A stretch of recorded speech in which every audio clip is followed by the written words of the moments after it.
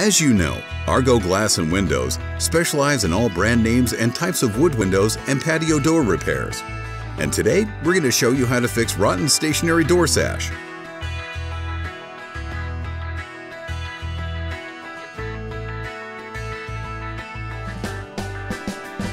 First of all, we need to remove the door from the frame and all wood moldings and weather seal moldings.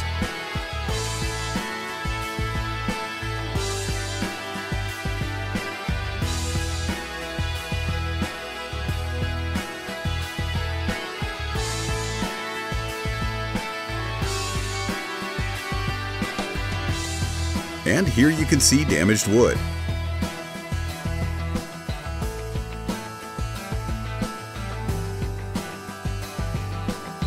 Also, we need to replace the rotten wooden sill, which you'll not be able to see without removing the door.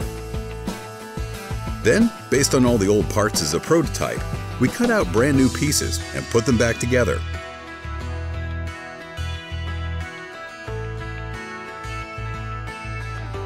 Now we can install the new wooden sill and put the door in its place.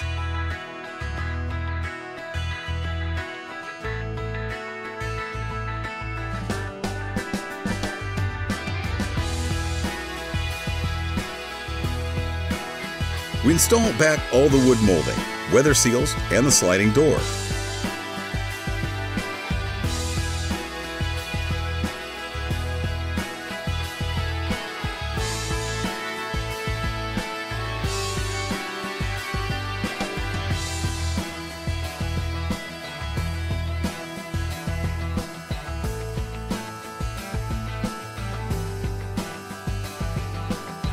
The final step is to check that everything works fine and the sliding door locks properly.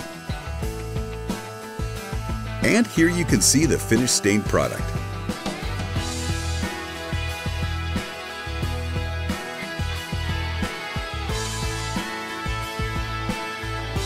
By choosing Argo Window Repair, you're winning in every aspect.